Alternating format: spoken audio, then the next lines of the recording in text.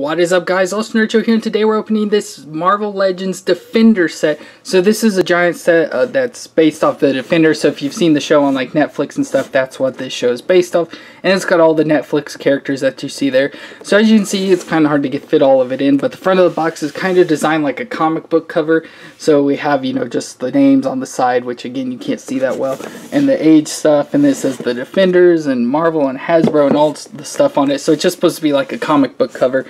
And then on the side of the box here, you can see the logo. So we have Daredevil, Jessica Jones, Luke Cage, and Iron Fist.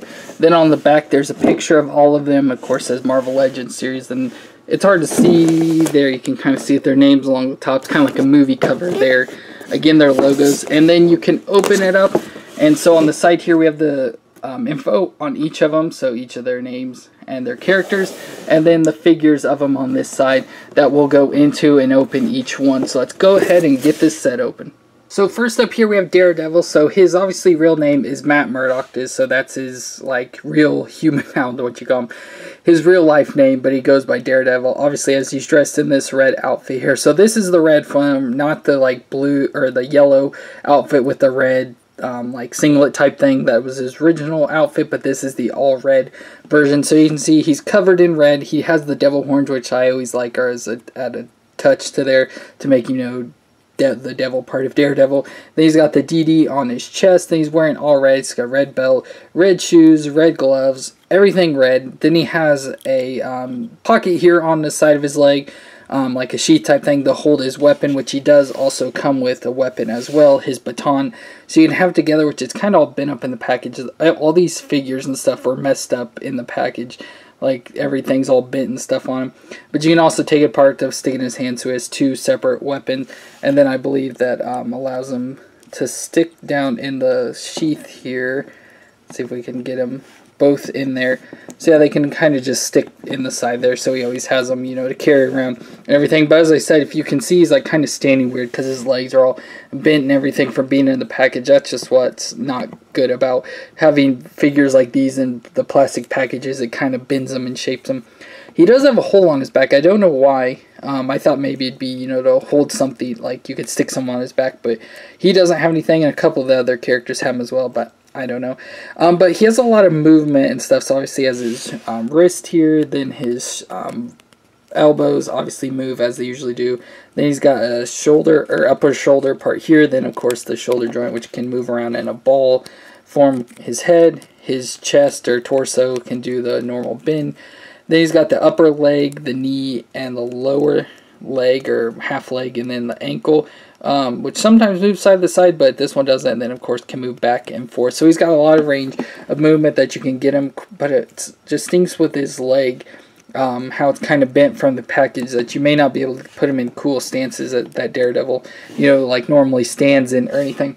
But just from the box, box that has all their aliases, so it's Matt Murdock with alias of Daredevil. Says, blinded as a child, learns to hone senses to become martial arts master.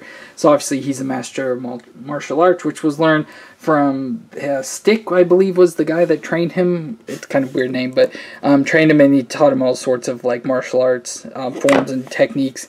And so he's now a master of it, I guess.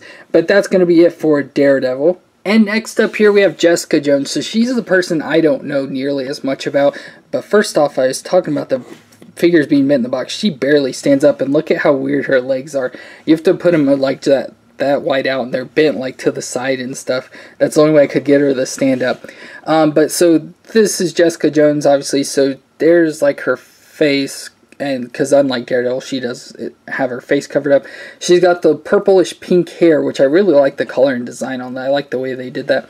Then she's got her classic like comic outfit where it's got all white with the blue. So she's got blue gloves and the blue stripes with the diamond or jewel looking thing there, which will make sense here in a second. And then she's wearing just all white. So she's very basic and plain. But um, as I mentioned, this figure for the box at least is not in good shape. Like her legs are horrible. She's like standing all weird but that was the only thing I could do to get her to even stand up. So it's going to be weird for her. Um, but she doesn't doesn't come with any weapons or anything. But the box does say so. Her name is Jessica Jones. Her alias is Jewel, so that's why she has the jewel there on her um, belt the design at least. Says exposed to chemicals as a young age, develop super strength and fighting abilities. So if you've seen the show, she can, you know, has super strong strength and so she can punch really hard, break through walls and just all sorts of stuff. Craziness that doesn't look like someone like she should be able to. But that's going to be it for Jessica Jones. Then next up here we have Luke Cage. So this is kind of a I believe a newer version of Luke Cage because obviously in the older form he wore um, the yellow and I think there was green oops and on his costume as well and then he had the afro so here he's got the bald head so this is very similar to his character in the Netflix series so there's a picture or picture of the look at his face there so he has like the goatee designed. I assume that's what you call that. But he's got that design. Then he's all ripped out and stuff because obviously he's a super strong guy. He wears the gauntlets, which I believe help can like used to stop bullets and stuff. I'm not exactly sure on that, but I know um, his figure or figure his uh, character or Luke Cage in general always wears like these metal gauntlets on his arm. But like I said, I assume, but he's got super strength and abilities, and I know he can be shot and not have issues. So I don't know exactly why he wears the metal gauntlets, but I assume it's for something. And then in this, he's just wearing jeans, so he's not got any sort of fancy outfit. He's just got his yellow shirt, like I said, is which is part of his like his classic look. But this is not it. And then he's got more metal there on his feet, and then he's got like boots on, so he can kick ass. So got kick ass boots on. and so there's the look at Luke Cage. He also has two holes in the back, so I don't know what he's got going on, why he's got two holes in his back for something. I assume you can use like a stand or something on where something hooks into the back. But that's pretty much it for Luke Cage. Since he's got the super strength and stuff, he doesn't have any weapons. So he has the alias of Power Man, which was his classic or his original stuff. So he was introduced as Power Man under the name of Luke Cage. And it says balances and or balances enhanced strength and durability with street fighting expertise. So obviously, if you've seen the show, he grew up, you know, kind of like in the ghetto areas and stuff. So that's why he has the street fights and stuff because he has to always take care of all the crime and criminals going around in like the hood and everything. So that's gonna be it for Luke Cage. And the last figure here is Iron Fist. So this is Danny Rand. Um, and so this is probably one of my, my favorite characters. It's either him or Daredevil out of the Defenders. Um, but I always liked him like from the look of the comics and stuff. And so he's kind of like a kung fu master. Um, so he comes from the name Iron Fist because of his fist because he has some powers um, that I believe it's called like chi, the chi or something like that. And so he um, learned the powers, and so he has Iron Fist, and or his fist have powers, and so that's why it's called Iron Fist. And they said, you know, it's like iron because when he um, has his powers going, he can't be like his hands can't be um, hurt.